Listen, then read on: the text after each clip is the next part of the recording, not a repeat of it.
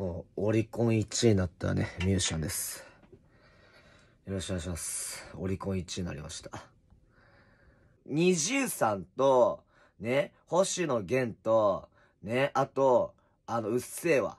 をね、蹴落としたんだよ。やばくない？ねえ、こんなのさ、蹴落としたんだよ。このさ、あの時代のさ、ね、あの東京ドームでやれてる連中を。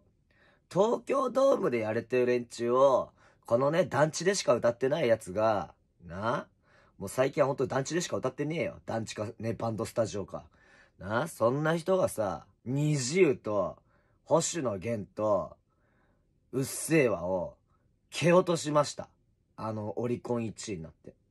いや、この団地からね、え住んでる、ね、こんなね、後ろでね、あのね、四あの、50年間ね、40年間ずっと同じ冷蔵庫使ってる、ね、おじさんが、あの、うっせぇわ、あのちゃんをね、あの、カリスマを、時代の長寿のね、カリスマをさ、蹴落としてしまったんだよ。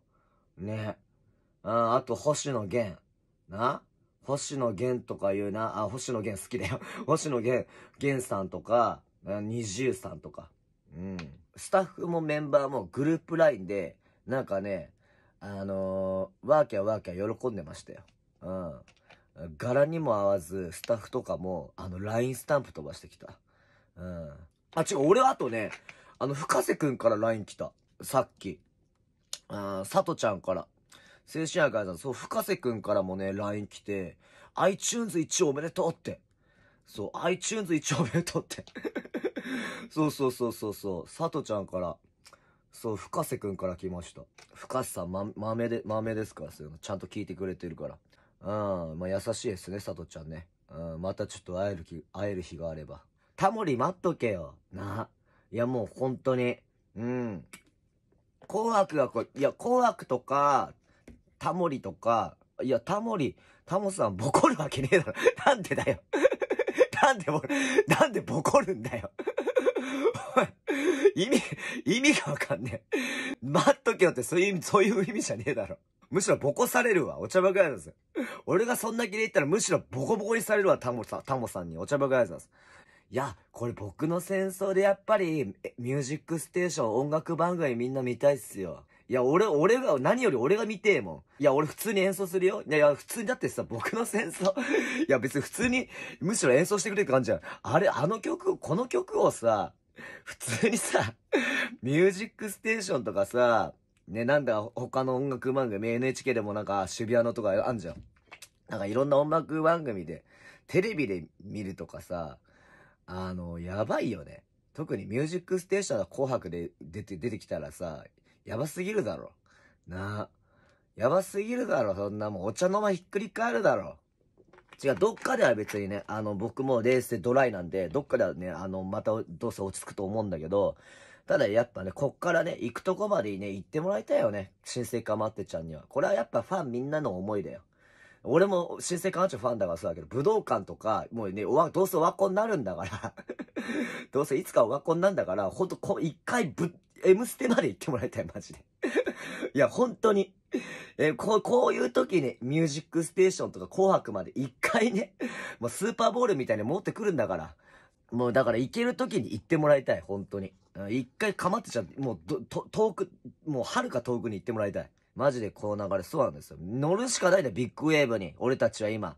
俺たちは今ね、このね、ビッグウェーブに、あのね、乗る、乗るしかないんだよ。ね、このオリコン1位になったっていうことで。放送事故をテレビ局の人は恐れてそう。しません。あのね、放送事故とか、ね、あんなし、しません。本当に。な、な、なんで、するわけねえじゃん、あんなさ。あんな意味ねえことするかや、ボケ。な。うん。めっちゃしたじゃん。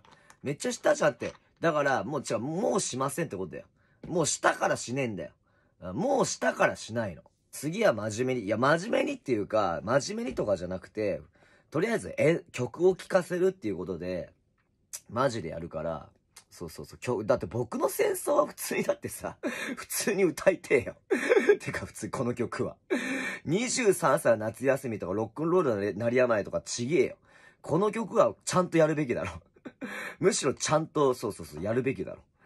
そうそう、ちゃんとむしろ演奏するべきだろ、この曲。うん、それが放送事故になるだろ、むしろ。むしろこの曲をちゃんと演奏した時が放送事故になるんじゃないかなって思うんだけどね。俺は好きだけど意外と好み分かれなくてびっくりした。いやけど俺もね、けどそれは本当にもうちょっとね、なんかね、エゴさしてさ、ピの意見がさ、いっぱいあると思ったんだけど、全然そうでもなくて、むしろ俺、これね、フル、なんか別にさ、俺さ、今回フルが出てさ、こんなになんか、反響あるとは思わなかったんだよね。いや、正直意味わかんなかった、俺。ツイッタートレンド乗ったりとか、オリコン1位取ったりとか、正直ね、なんか意味は、意味わかんないんだよね。うん。俺、自身がちょっと意味わかんなかった。でもありがたいよね。けど本当にね、進撃のファンの人でも、まあ普通のね、かまってちゃんのこと知らない人でも、今回進撃のオープニングで一番好きな曲だわ、みたいな。うん。やっぱね、それは本当にね、うれ、嬉しい意見ですよ。そういうのも。